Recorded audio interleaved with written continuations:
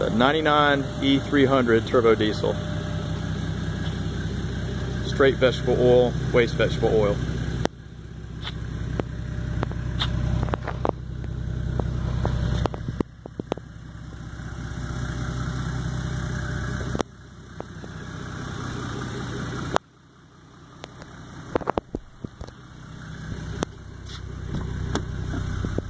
There's a switch right there.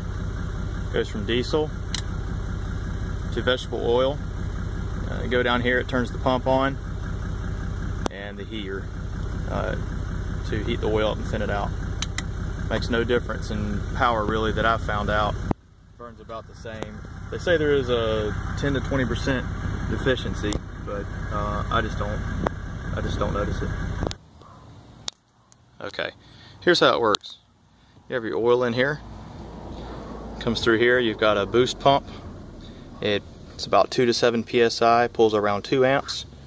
Just routes around here, goes into the copper hard pipe that goes underneath the car all the way down. That's it right there, runs all the way down.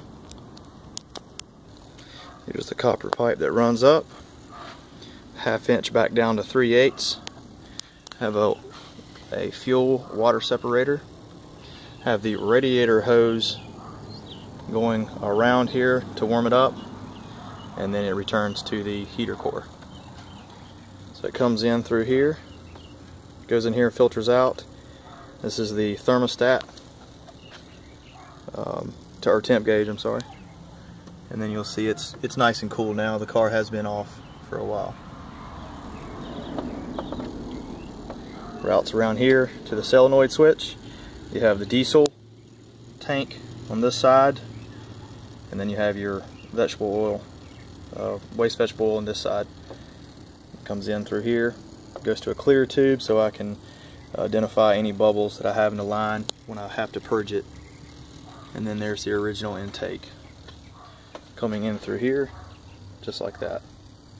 And this is your 10 micron uh, stock um, fuel filter for the diesel.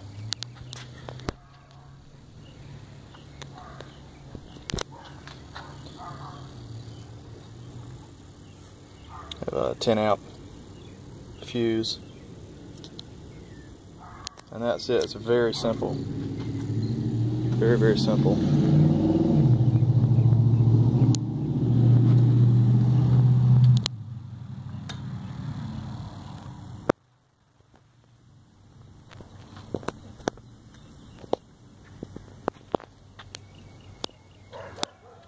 The only thing I've done to the intake is just put a, a high flow intake. I'm not sure if I get any more power out of it or not, but it sure sounds awesome. You can actually hear the, uh, the turbo with that.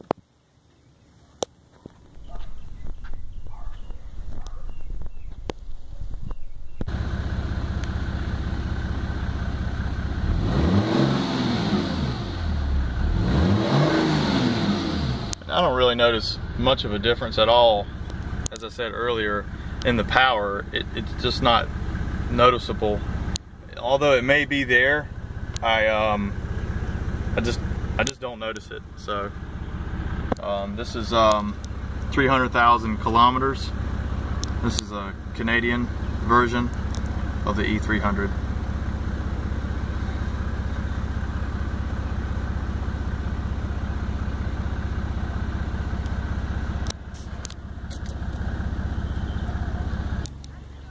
If you have any questions or comments, feel free to ask me.